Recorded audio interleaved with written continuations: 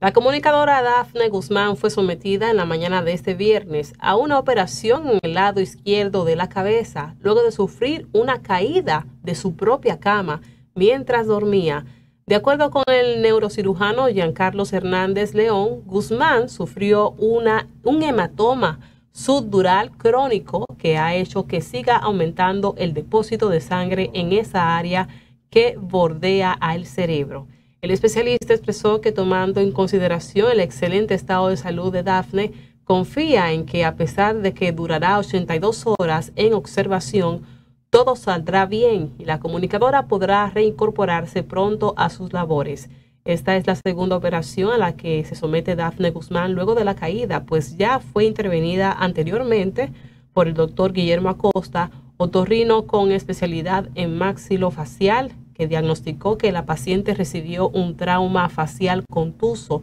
con fractura maxilar superior izquierdo, para lo cual realiza una reducción en la fractura. En otro tema, en medio de expresiones de tristeza y dolor, fueron sepultados este viernes los restos de Yaciris Joaquín de Jesús, quien murió tras quedar atrapada bajo los escombros del edificio de cuatro niveles colapsado en La Vega el pasado miércoles. Alrededor del féretro, previo a su última morada en el cementerio municipal Las Lagunas de La Vega, se observa llanto y pesar en el rostro de sus parientes y allegados. Lorenzo Joaquín, tío de la víctima, agradeció el gran esfuerzo realizado por los organismos de socorro para rescatar con vida a su sobrina de los escombros de la empresa RS Multimuebles, donde trabajaba en la parte administrativa. En otra información, un motoconchista fue muerto de una puñalada por un compañero que se negó a pagarle 300 pesos la víctima le reclama tras ganarle una carrera clandestina en el sector de Herrera. La víctima fue identificada como Víctor Manuel Montero de 23 años y su victimario, solo conocido como Gabriel, está prófugo y es perseguido por la policía.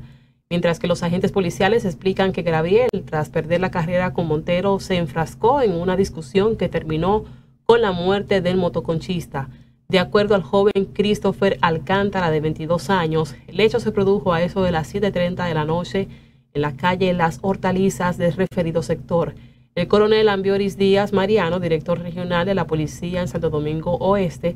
señaló que miembros del DICRIN están tras la captura de Graviel para apresarlo y someterlo ante la justicia.